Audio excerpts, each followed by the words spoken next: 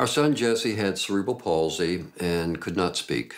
And uh, they told us he would never be able to learn to read or write. And it was suggested to us that he be placed in a separate classroom or a different school. My wife, Marianne, and I fought to have Jesse included in general education.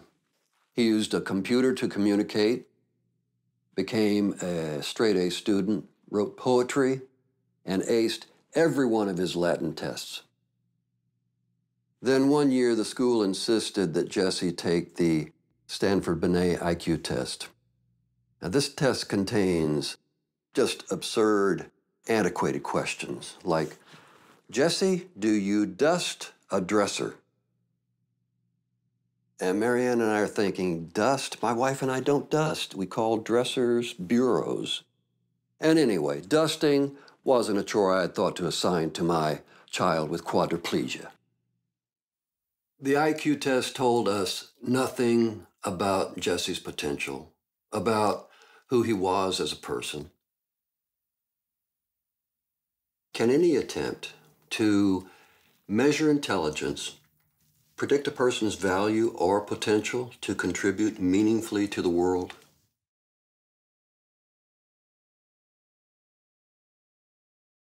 I, am not sure if I will do a meditation tonight because I'm kind of tired, but. All right. Uh, okay. You too. Bye.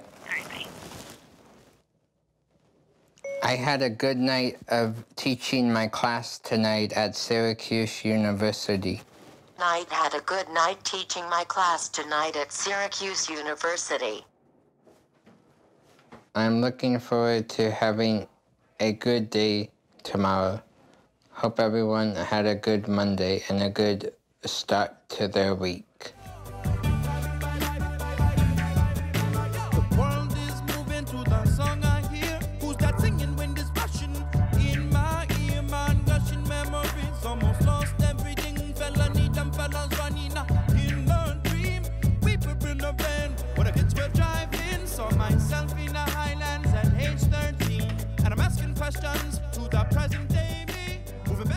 Lots of people in society probably like uh, still think that people with disabilities are not like not like included in their like town or in their family, and some people uh, still have the mindset of sending them away. And I like saw a sheet paper in the mail that said I had a uh, 40, 40 IQ still in. When I like uh, Googled it, it was somebody that can't do tons of things, probably can't teach at a university. Uh, here's my uh, my mom, my dad, and my uh, and like my youngest son throughout like first grade through fifth grade. I like watched them trying to help me uh, get in regular like school, and then it's like hard to advocate because it took like a long time. But I I just know that I I learned a lot uh, from my mom and dad. The first label plastered on my son's tiny forehead was jaundiced.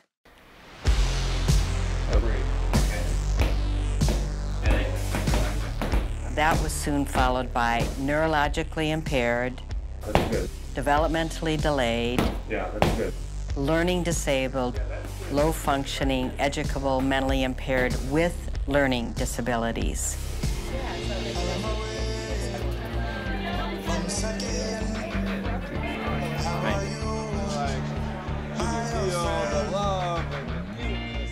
What we want to focus on is not a label, but on what are the supports that a child or a person needs in order to participate in a meaningful way.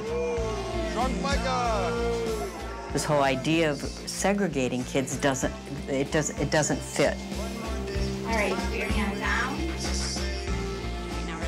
Now, Mike and I live closer to each other than we do to our parents. Oh, a chair? Chair. And I don't know if anyone knew that that was going to be possible in his life. And it's something that like makes me emotional because you just like like it's just these constant reminders that you don't know what people are gonna do. Lemonade. Food or not food? No. Why not? It's a drink. It's a drink. He was very engaged anytime I looked in his direction, he had a look on his face that said, Come on, keep going. I'm right with you, and I want to learn this stuff. The IQ test measures a very limited potential of our brain to learn and misses all the other stuff, a person's ability to take context, clues from their environment, from other people. It, it misses entirely a person's desire to engage with other people and their openness to relationships. Micah's got a ton of that. He's taking really high-level classes at one of the best universities for disability studies. He's working here. And why do you think it is that we don't have more people like Micah at college?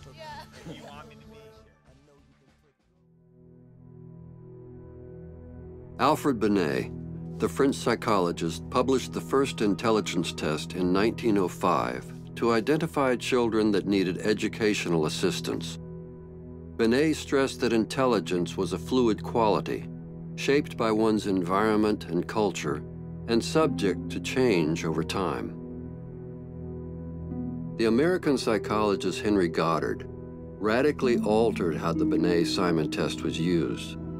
In 1908, Goddard insisted that the test was a scientific tool to identify the feeble-minded in our midst.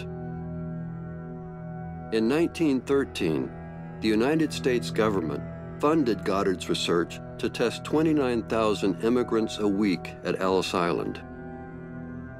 Goddard said his results showed that 79% of Italians, 83% of Jews, and 87% of Russians were feeble-minded. Goddard's work fueled a widespread movement called eugenics, which called for eliminating the menace of the feeble-minded through forced sterilization and institutionalization. Eugenics had the support of prominent physicians, professors, governors, presidents, and even the United States Supreme Court. From the 1910s through the 1970s, hundreds of thousands of people were institutionalized, and more than 60,000 people were forcibly sterilized. At the beginning of World War I, the U.S. Army administered IQ tests to nearly 2 million soldiers.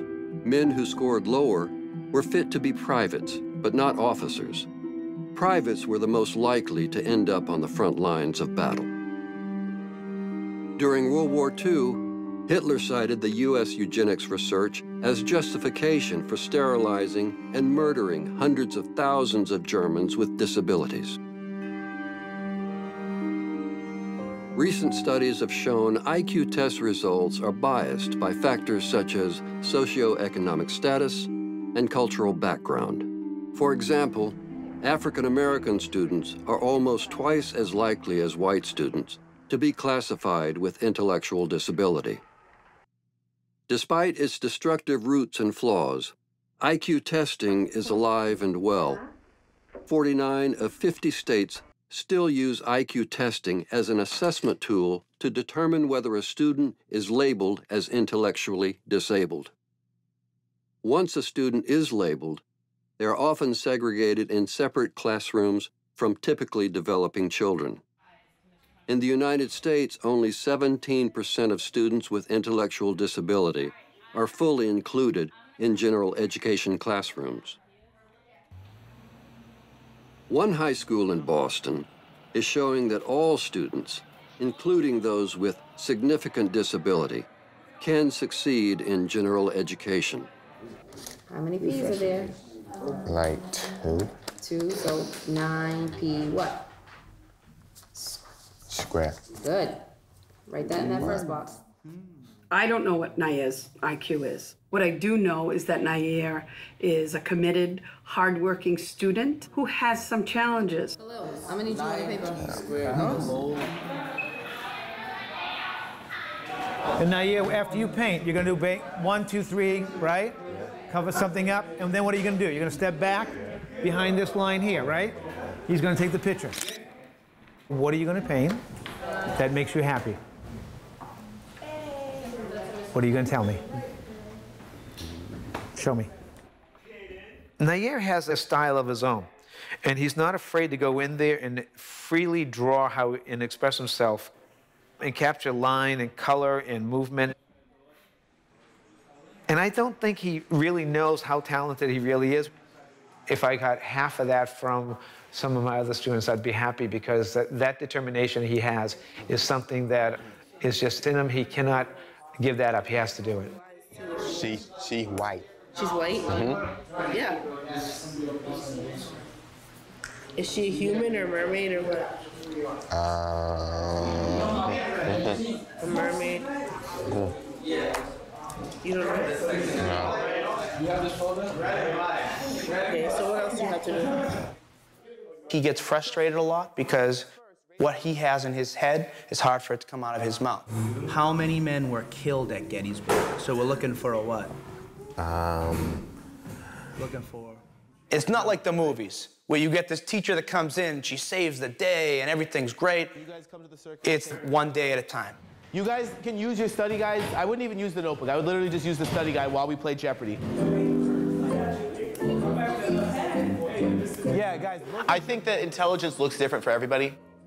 It's, it's clear that he has an intellectual impairment, but I don't. That, that doesn't that doesn't necessarily mean that he can't be intelligent. Please describe why our unit on government is the most important thing you will learn in all of high school and possibly your life. Nair. You have learned about the government because you will use this information for when you vote. That is very true. You will use this information when you vote. I will add that. Three branches of government? The fact that he is a black man and he is tall. Sometimes it is troubling to wonder what is the what might the outside world perceive him as. If he's being loud or jumpy or enthusiastic, somebody might perceive that as being threatening. It's one thing when they're young and they're cute, but eventually they're going to get older, they're going to go through puberty, and the outside world is going to see them very differently. I remember them saying something about his IQ level, and I think it was like 80 or 90. How? Who developed that IQ? So we're using a testing rubric based on the 19th century or the early 20th century, and we're using that in 2015, 2020 to define our children, our children's mental capacity? Nah, I can't buy that. As a mother, I'm not going to try to fix him or change him. I accept him for who he is. You look and see what they're good at, and you nurture that. But that's just being a parent. He is going to college. It's not a hope. He is going.